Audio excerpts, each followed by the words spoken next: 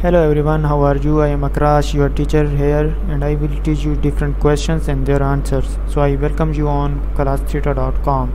So our today's question is Which type of ICS facility is used to temporarily position and account for personal supplies and equipments awaiting assignment?